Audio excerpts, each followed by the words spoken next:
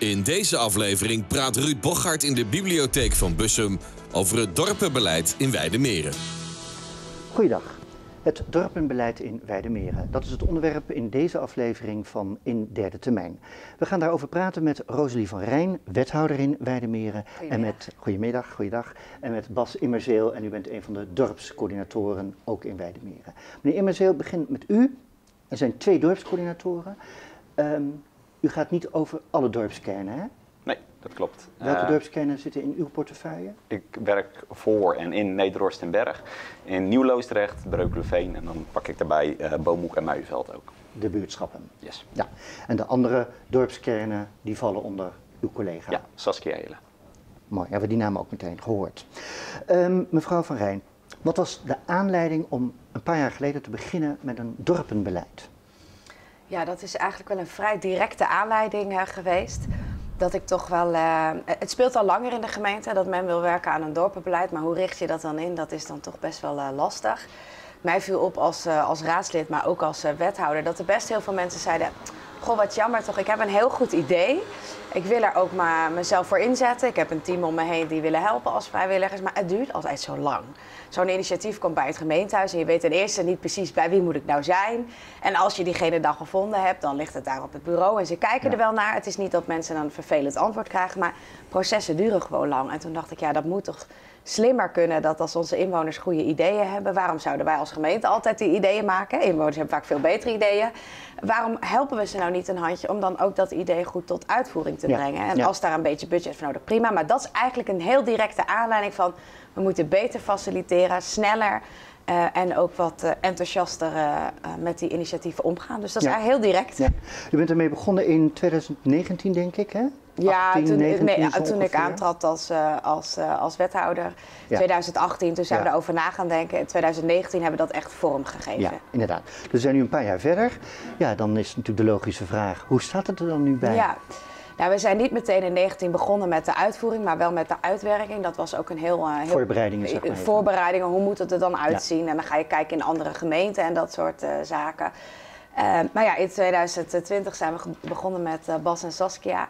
Ja, ik, ik word hier echt heel erg blij van. En dan denk je natuurlijk, dat is praten voor eigen parochie. Tuurlijk, hè? Dat, is, dat snappen nee, we. maar ik krijg echt heel veel, we als gemeente, en Bas gaat dat straks denk ik nog eh, verder vertellen, heel veel positieve reacties van mensen die zeggen, wat fijn en bijzonder überhaupt dat ik ze direct kan bellen. Want onze dorpscoördinator kun je mailen, maar je kunt ook op de 06. Kunt u eh, één wapenfeit noemen waar u trots op bent? Eh, het enthousiasme en het tempo. Daar ben ik echt trots op. Dat mensen bellen en die krijgen echt heel snel antwoord. En dat ze mij dan aanschieten van, nou, heb je dat gezien? Het is al geregeld. Nou, dat, dat kan natuurlijk niet Enthousiasme snap ik, tempo. Eh, wat moet ik me daarbij voorstellen? Nou, zo'n initiatief hoeft niet eerst naar, eh, naar het gemeentehuis en daar te wachten. En dan, het is gewoon mensen bellen of mailen Bas en Saskia. Die zeggen, ik heb een goed idee. Nou, nou, ik- Bas gaat vertellen hoe snel die is, Ja, maar... we gaan het hem vragen. Bas, hoe snel ben je? Nou, een heel mooi voorbeeld is denk ik dat in eh, december eh, eh, kwam een van de initiatiefnemers van een hoop activiteiten op het Willy Dasplein in Nederhorst en Berg naar mij toe. Met de vraag of we daar een paar bomen leuk in konden uitlichten hè, voor de feestdagen. Ehm, nou, dan spreek je daar op locatie af. Ehm, je maakt met elkaar een plan. Wat is de bedoeling? Hoe zouden we dat zo snel mogelijk kunnen doen? Moeten we nog ergens rekening mee houden? Moeten we toestemming vragen? Moeten we bepaalde dingen eh, organiseren? De buurt informeren? Eh, en twee weken later dan, eh, dan branden de lampjes op het plein. Ja, ja. En hoe lang had het dan vroeger geduurd? Ongeveer. Nou, ik, ik durf niet te zeggen hoe lang het geduurd had, maar de zoektocht van waar moet ik zijn en wie gaat er eigenlijk over hè? En, en waar is het budget? Het, het voordeel dat het snel kan, is dat Bas en Saskia ook beschikken over een dorpsbudget. Dus het dorp eh, komt met gedragen initiatieven. Ik, ik vind het goed, als het dorp het goed vindt en Bas... Je eh, zou kunnen zeggen, je hoeft eigenlijk niet die hele je bureaucratische die molen. Die hoef je niet door. Het is je gewoon door, ja. dorpsbudget. Je moet wel aantonen, dat vind ik wel belangrijk om te noemen. Het is niet dat één iemand aan de bel trekt en die zegt: Ik heb een idee en Bas betaalt. Nee, je moet echt wel Ja? samen, eh, samen dat eh, met elkaar Ja, vormgeven. we gaan even kijken hoe dat werkt. Want meneer Immenzeel, eh, heeft u een kantoortje ergens? Ik heb een kamer op het gemeentehuis. Ja? Eh, maar ik heb ook een mobiele telefoon en een laptop. Die is ook mobiel. Dus ik kan overal werken. stel, eh, we hadden het net even over het Willy Dasplein eh, in Nederhorst. Eh, stel, ik heb een idee, dan kan ik u op uw mobiele bellen. Zeker. Ja? Ik hoef niet een afspraak te maken. Geen afspraak, Eh, nee. vergroot ook al het tempo, hè? geen secretariaat. sneller, wat er ja. nog, eh, tussen Mobiele telefoonnummer staat ook gewoon op de website voor Alles iedereen zo te te vinden. vinden. Ja. Eh, en dan bel ik u op met een plan. En dan? Wat gebeurt er dan? Maken een afspraak.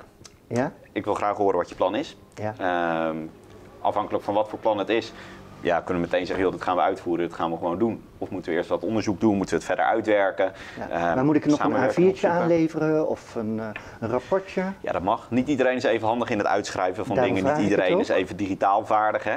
Dus ik het ook, als het ja. in je hoofd zit en je kan het uitleggen, dan is het ook in orde. Oké. Ehm, maar nou ben ik als enige eh, die eh, u benadert met een plan. Ik kan me voorstellen dat je zegt, ja, hartstikke leuk plan, maar ik wil toch wel wat meer draagvlak zien. Ja. Hoe gaat dat?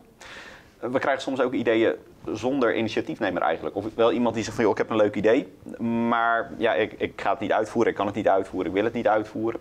En ehm, dan is het aan ons om in ons netwerk eh eens na te denken van, hey, kennen we iemand die dit leuk vindt, die daar misschien al mee bezig is, waar het mooi op aansluit, kan het ergens aanvullen. Ja. Eh, en dan gaan we de verbinding leggen. Oké. Ehm, ik kan me ook het omgekeerde voorstellen, eh, dat je, je loopt eh, of fietst of hoe dan ook, je gaat door Nederhorst of door Nieuw-Loosdrecht. Eh, je ziet dingen om je heen gebeuren. Hè, eh, dat je denkt, hé, hey, hier zou eigenlijk wat moeten gebeuren. Laat ik eens een paar bewoners stimuleren om in actie te komen. Ja. Dat, dat gebeurt ook. Dat gebeurt ook wel eens. Liever zijn we niet eh, zelf de initiatiefnemer. We willen geen initiatieven zelf bedenken en opdragen aan mensen. Hè. Ja. Het draagvlak moet uiteindelijk bij de inwoners zelf liggen.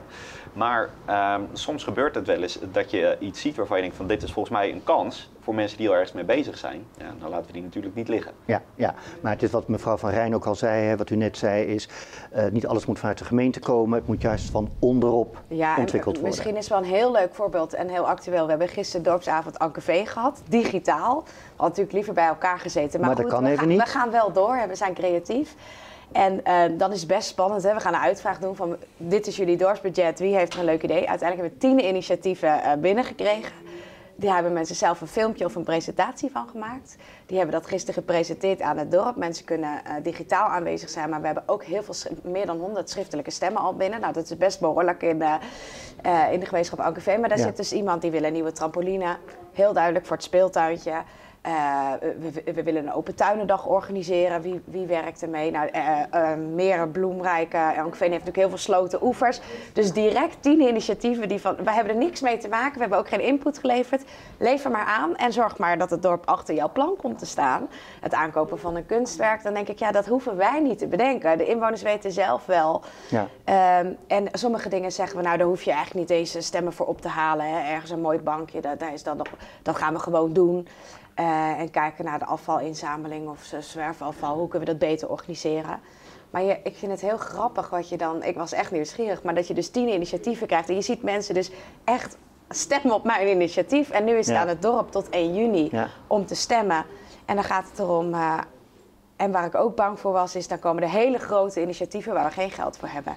En het blijkt eigenlijk, die tien initiatieven, ik, ik vermoed dat ze de komende twee jaar allemaal wel uitgevoerd kunnen worden. kleinschalig. Het is eigenlijk heel bescheiden, maar toch, dat bes- zo'n bescheiden bijdrage of inzet is voor het dorp van, dan van grote betekenis. En dat vind ik eigenlijk wel leuk. Wij denken vaak heel groot en beleidsmatig. En ze willen gewoon drie extra prullenbakken of een kunstwerk Ja. of een tuinendag. Het is soms eigenlijk heel eenvoudig. Het is hè? eigenlijk Ja. heel Ja, eenvoudig, ja, maar dat vind ik er juist wel heel leuk aan. Meneer Emmerzel, eh, we hebben het nu steeds over initiatieven van burgers, bewoners. Ehm, kan ook een school of een woningcorporatie eh, eh, ook met initiatieven bij u langskomen? Ja, zeker. Of een ondernemer. We hebben een heel leuk initiatief in Loosdrecht om het Ja. eh, recreatieseizoen daar eh, te verlengen. Dus ook de donkere dagen. Hè. Mensen die komen naar Loosdrecht als het lekker weer is, hè, om te recreëren op of om het water. Eh, maar juist om ook de, de, de, zeg maar even de maanden met, met de R, om, om die ook voor, in- voor toeristen interessant te maken. Ja, ja, ja. Even twee kritische vragen. Want u zegt net, fijn dat die mensen komen met betaalbare verzoeken, hè, zo noem ik het dan maar eventjes. Ehm, is het niet wie het eerst komt, het eerst maalt? Want het budget is op een gegeven moment eindig. Een budget kan op zijn, maar we zijn ook wel creatief in het vinden van andere budgetten. En dat doen we door samen te werken met andere afdelingen. Hè, als er al een project loopt waar dit perfect in past. hè, Van de dan- afdelingen van een gemeente bedoel Van de gemeente, Ja? ja? of met partners, hè, met, eh, met de natuurmonumenten, Ja. met recreatie Midden-Nederland, eh, met de provincie. Op het moment dat het project uitgevoerd wordt en ja, de doelstellingen en de uitgangspunten zijn hetzelfde, dan kan dat vaak op elkaar ingevlochten worden. Ja. Eh, het aanschrijven van fondsen en subsidies. Ja. Dus ehm, we kijken altijd naar een mogelijkheid. Ehm, Naar de mogelijkheden, niet naar de beperkingen. Ja. U, zei net, eh, u zei net nog, eh, mevrouw Van Rijn, eh, ga zelf maar stemmen ophalen. Hè? Kijk ook weer even u aan. De ene is nou eenmaal mondiger en meer, hoe noem je dat, bedreven in het, nou ronselen klinkt negatief, maar zo bedoel ik het niet, in het binnenhalen van stemmen dan anderen. Ook hier geldt dan weer, ja, de sterkste heeft dan de grootste kansen. Nou, op de dorpsavond is echt gekozen om te stemmen, omdat we graag inzicht willen hebben in wat vinden we het belangrijkste. Dat wil niet zeggen dat iets wat geen of wat weinig stemmen heeft, dat dat dus ook niet uitgevoerd mag worden. Ja, En daarnaast, ehm, het draagvlak waar we graag mee werken, ehm, kan je op verschillende manieren interpreteren. Ehm, in mijn eh, eh, opdracht, de beleids- en de uitvoeringsnotitie, staat een, een percentage van 65%. Maar ehm, dat is niet heel concreet gemaakt met is dat het hele dorp, is dat de hele gemeente, is dat de straat waar, we, waar het bijvoorbeeld in plaats gaat vinden. En ehm, waar we dus voornamelijk naar op zoek gaan is, eh, zeg maar eventjes een onderbuikgevoel van, ehm, worden meer mensen hier blij van? Ja, En ja. ja. als we dat goed kunnen verkopen, eh, dan vinden wij dat we dat uit kunnen voeren. Ja, ja. Eh, mevrouw Verijn, eh, u hoopt dat eh, met die dorpsavond in Ankeveen u eh, al die verzoeken eh, kunt honoreren. U verwacht dat misschien wel. Ehm, hoe, hoe, als we nou even de balans opmaken hè, van het dorpenbeleid, hoe is dat in de andere dorpskernen? En wat ik eigenlijk wil weten is, zijn er meer initiatieven dan waar budget voor is? Of eh, zijn er juist dorpskernen waar je juist dat initiatief nog moet stimuleren? Nee, ik denk dat het overal wel, eh, wel een beetje gelijk opgaat en goed, eh, goed gebruikt wordt. Ik denk dat het dorpsbudget, ja, ik wil niet zeggen dat het te weinig is, maar het wordt ook aangevuld met appelboommiddelen, die dan weer meer gaan om, om met elkaar. Ja, en even voor de helderheid, hè, de appelboom, eh, daar kun je bijvoorbeeld als je hanging baskets wil hebben in eh eh, Of gezamenlijk je plantsoen of je straat anders ja, inrichten. dan kun je daar een verzoek in Ja, dus daar kijken we naar. We krijgen ook vergoeding eh, voor het opruimen van zwerfafval. Hè. Omdat de appelboom succes is, krijgen we behoorlijk hoge vergoeding. Die worden ook weer ingezet. Die, en die cofinanciering waar we, waar we naar zoeken. En, en vaak zie je heel veel inwoners zeggen... Hè, tuurlijk, we dragen bij in, in, eh, in middelen. Mensen beseffen zich ook dat het niet oneindig is. Hè, dat het ook zware tijden zijn voor de gemeente. Dat, dat is ook niet erg. En toch zie ik dat we wel heel, eigenlijk wel redelijk goed uitkomen. Je wil altijd meer. Hè? Dat, dat is gewoon volgens mij, als er meer is, dan, dan zou dat nog leuker zijn. Ja. Maar er zijn ook mensen die zeggen, ik, ik zoek eigenlijk geen geld. Ja, een klein bescheiden bedrag. Maar ik, ik heb het nodig om, om, om ergens binnen te komen. Of ik heb wel toestemming nodig van ruimtelijke ontwikkeling. Help me daarmee. En dan gaat Ja. Bas daarmee de boer op of breng mensen bij elkaar. En dan is dat eigenlijk ook een manier van inzet, los van dat financiële. Waar we van zeggen, nou we pakken het op en, en we gaan ermee eh, aan de slag. En wat je gisteren zag in uh, Ankerveen gebeuren, dan wilden ze eigenlijk een trampoline. Maar in samenwerking met de collega die de speeltuinen onderhoudt, zeggen nou, we, trekken het iets naar voren. We gaan meteen kijken naar de speeltuin die eigenlijk eh, al op de rol stond. Van hoe kunnen we dat nou meteen inrichten? Heb je eigenlijk twee vliegen in één klap. ja, duidelijk. Dus, eh, dus eh, nee, ik, ik weet niet of jij er nog wat op aan, maar volgens mij gaat dat eigenlijk, eh, eigenlijk wel goed. Iedereen weet het wel goed te vinden. En er zit wel verschil hè, per dorp. Ehm, Je zou kunnen zeggen, het eerste jaar moet iedereen elkaar nog zien te vinden. We Tuurlijk. moeten die dorpscoördinatoren netwerken Ja. opbouwen. Dus Ja. dan gebruik je misschien niet je volledige budget. Maar vorig jaar is het dorpsbudget gewoon opgegaan. Ehm, ook dit jaar gaat het al heel erg hard met de budgetten. Ehm, dus ik denk dat, ehm, ja, er zijn meer eh, initiatieven en er wordt om meer geld gevraagd dan dat er in het dorpsbudget zit. Maar daar zijn we creatief in. ja, dat zei je net En al. Ja, ja, ja. volgens mij is dat gewoon een heel positief geluid. Ja. In ehm Weidemeren, eh, eh, en dat is in de ene dorpskern wat sterker dan in een andere dorpskern, is er sprake van jongerenoverlast. Hè. De burgemeester Chris Larsson heeft daar laatst in het gesprek met Saskia Luijer het nodige over gezegd. Dat gaan we niet allemaal herhalen, maar eh, we kunnen vaststellen dat er op meerdere plekken, met name in de porseleinhaven in Loosdrecht, last is van jongeren. Ehm, ik kan me ook voorstellen, eh, het is een heel erg zoektocht naar eh, eh, hoe pakken we die jongerenoverlast nou aan? Eh, en wat vandaag helpt, helpt morgen niet meer, eh, of volgend jaar niet meer.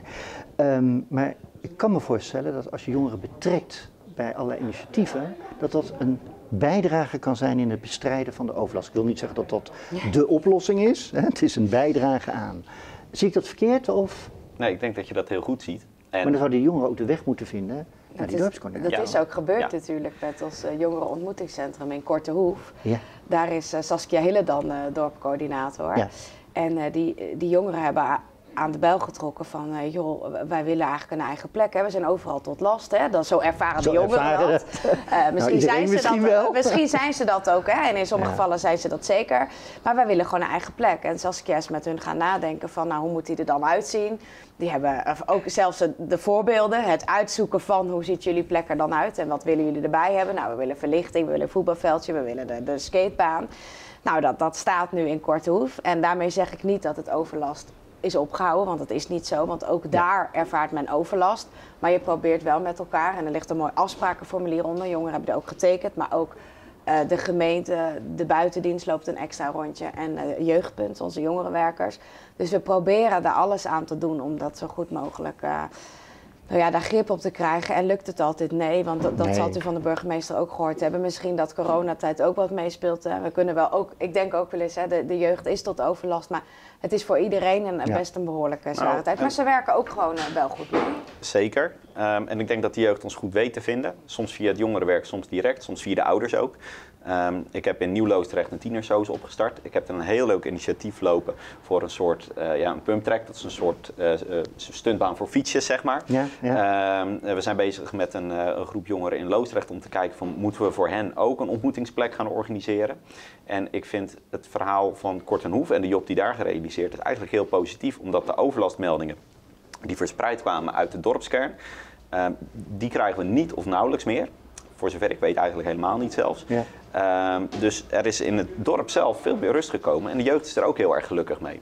Dus ook daar denk prima. ik dat het, Ja. Het contact met jeugd gewoon op een hele goede manier loopt. Ja, ja, nou, het is in ieder geval een bijdrage in de aanpak van de overlast ja, en, van en jongeren. dan nog wel een kleine aanvulling, want het, eh, eh, het is niet het beeld dat er nu, de, het overlast in de dorpen neemt inderdaad af. Maar nu zoeken we naar een goede manier en daar is de dorpcoördinator Saskia ook heel druk mee.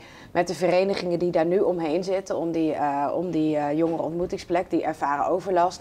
Zit samen in een appgroep met Jeugdpunt, komen regelmatig bij elkaar van... het is, een, het is een goede plek, maar hoe krijgen we het ook voor ons eh, acceptabel? Ja. En dat is soms, eh, dat is ook het eerlijke antwoord, het is soms een zoektocht. Ja. Maar ja, eh, dat is ook niet erg. Dan Ja. moet je met elkaar aangaan. Ja. En nog even terugkomend op overlast.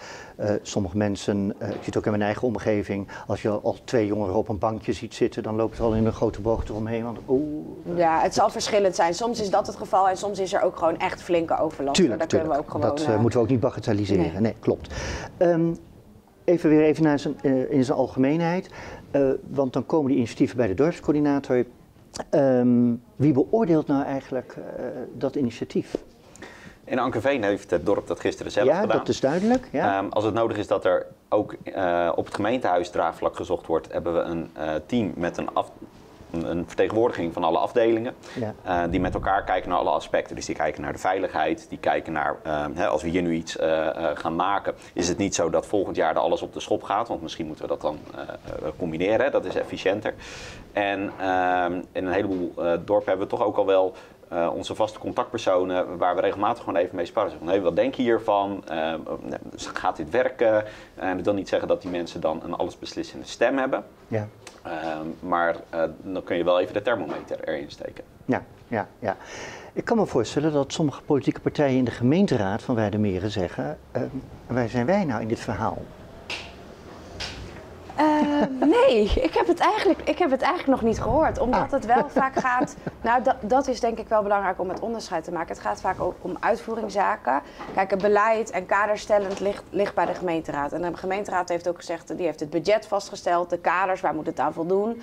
Maar die uitvoering moet vooral bij dit team liggen. En alleen dan werkt het. Ik denk als je die schakel maakt met hè, de gemeenteraad moet er ook nog wat van vinden ja, dan, dan uh, gaat het uh, proces weer in dat het heel lang duurt. Dan heb je neem, dat tempo-element weer. Ja, ja, en neem niet weg dat we ook wel, toen we nog wel bij elkaar konden komen, dorpsavond hebben gehad om, om niet alleen uitvoeringsinitiatieven uh, te bespreken met elkaar, maar ook hoe ziet uw dorp er straks uit op het gebied van woningbouw. Nou, dat is natuurlijk heel interessant wat daaruit komt. Hè. Dat is gepubliceerd op de website, dat gaan we uitwerken. Dat is interessant voor de ruimtelijke ordeningafdeling, maar ook voor die gemeenteraad. Die kan ook voelen van, hé, hey, hoe zit het? En daar ben ik mee eens.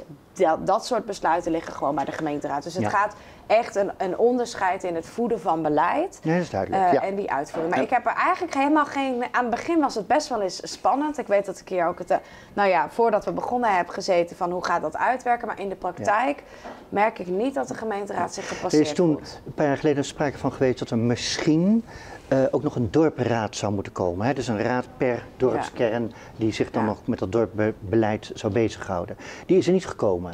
Nee, die is er niet gekomen. En wat zijn uw plannen op dat vlak? Nou, mijn plannen zijn op dat vlak eh, heel neutraal. We hebben ook eigenlijk gezegd van, hè, dat was toen de discussie, er staat een mogelijkheid tot het vormen van een dorpraad. Dat is ontstaan naar aanleiding van voorbeelden van andere gemeenten.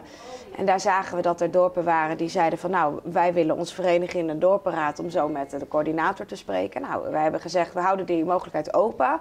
Mochten dorpen zich aandoen, dienen om zich op die manier te verenigen, dan staat het open en dan gaan we dat op dat moment uitdenken. Mocht daar geen behoefte aan zijn, even goede vrienden heb ik altijd gezegd, en dan doen we het niet.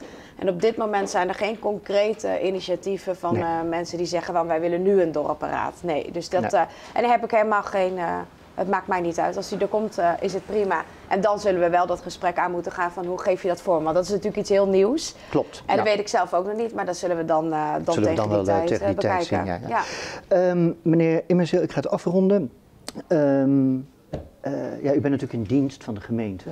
Dus de vraag die ik u ga stellen is altijd een beetje, ja, hoe noemen we dat, precair. Ehm, heeft u een verbeterpunt of een verzoek aan de wethouder waarvan u zegt, nou, als je dat nou doet, dan komt het dorpenbeleid nog beter tot zijn recht? Nou, geen verzoek aan de wethouder. We hebben een heel kort lijntje. We hebben vanochtend nog geappt over ik welke zei net, kleding we hè, u eh, betaalde die wethouder. Ja. Ja, nee, maar Nee, wij hoor. hebben heel korte lijntjes. Hele korte dus lijntjes. we Ja, zeker. Ehm, nee, Maar goed, geen- dat zou een verbeterpunt Een, zijn. eh, eh, dus, dus geen verzoek aan de, aan de wethouder. En natuurlijk kunnen we dingen altijd nog verbeteren. Ik zou het heel leuk vinden om te kijken of we die dorpontwikkelplannen ook iets meer vorm kunnen gaan geven het komend jaar. En wat is een dorpontwikkelplan? Eh, we hebben eh, voor ogen dat de dorpen met elkaar nadenken over waar zij over, nou zeg bijvoorbeeld tien jaar willen staan. Wat, wat, wat is in hun ogen nou het allerbelangrijkste? Ehm, en eh, daar zou ik wel graag werk van willen maken. Oké, dan kan het bijvoorbeeld gaan over, willen de, de dorpskern leefbaarder maken of er moeten meer voorzieningen zijn. Het kan een goede voedingsbodem zijn eh, om initiatieven woningen. te sturen. Hè, waar vinden we het belangrijk? Welke initiatieven vinden we dus belangrijk om te, te, te, te ondersteunen, te faciliteren? Eh, andersom denk ik ook aan mijn collega's eh, eh, die, die het werk uiteindelijk uit gaan voeren vanuit het gemeentehuis. Ehm, voor hen is het super belangrijk om te weten waar wordt het dorp gelukkig van. Want dat is uiteindelijk waar we het voor doen. exact. Mevrouw Verijn, ik stel u dezelfde vraag. Uh, ontkoppel ik hem maar even van de dorpscoördinator. Eh, waar zou u gelukkig van worden als dat nog zou gebeuren tussen nu en volgend jaar maart als er weer verkiezingen zijn voor de gemeenteraad? Nou, ik, ik sluit me wel aan eh, bij Bas dat het leuk zou zijn als je ook die lange, dat langetermijnbeeld van een dorp eh, kan gaan invullen. Dus dat we nog meer kijken naar. Ik vind soms wel eens dat je als gemeente, ehm, wat ik in het begin al zei, je moet, niet te veel op jezelf gefocust zijn. En wat Bas zegt, je doet, je doet het voor die dorpen. En ik kan me heel goed voorstellen, we hebben nu ook bijvoorbeeld vanuit de afdeling wonen een onderzoek, eh, is bij iedereen vorige week op de mat gevallen, of een steekproef eh, gewijs, maar wel in grote ge- getalen. En eh, hebben we gezegd, laten we dat nou per dorp eh, die vragen Ja. stellen. Zodat je dus in verschillen in dorpen ook kan faciliteren. In het ene dorp is misschien meer behoefte aan woningbouw dan in de andere. En d- dat soort dingen zou ik wel graag eh, meer in, eh, in, In beeld, beeld willen. willen hebben, ja. En het nog, het nog verder uitwerken, dat het no- nog meer bekendheid eh, krijgt. En eh, als Bas ergens mee zit, en dat gebeurt ook wel eens, hè, dat hij zegt van joh, dit initiatief, ik wil het verder helpen, hup. en dan, eh, dan eh, hoor ik dat altijd Ja, direct, want ja. dat vind ik wel het bijzondere. Ik, ik, ik heb natuurlijk meer domeinen in mijn portefeuille, maar de- deze lijnen zijn wel heel kort, Ja. omdat je ook soms snel moet schakelen. En ik vind ook dat ik als wethouder, en ik hoop dat ik dat doe, voldoende ruimte moet geven van joh, jullie hebben het budget, jullie hebben het inzicht. Mijn toestemming heb je ook niet altijd nodig. Ga aan de slag. En ik vind Ja. het leuk om te horen wat er speelt. En als ik nodig ben om processen te versnellen, dan hoor ik het. Oké. Eh, maar we hebben wel heel veel contact hierover, Ja. want het is gewoon heel leuk. Laatste vraag. De namen en telefoonnummers van de dorpscoördinatoren die kunnen we vinden op de website van de gemeente Weidemeren. Ja, weidemeren.nl schuine streep dorpenbeleid. Goed. Mag ik u bedanken, Bas Immerseel en Rosalie van Rijn, voor jullie komst naar de bibliotheek hier in Bussen. En tot zover in derde termijn. Volgende week is Joyce Sylvester te gast. Zij is de oud-burgemeester van Naarden. Graag tot dan.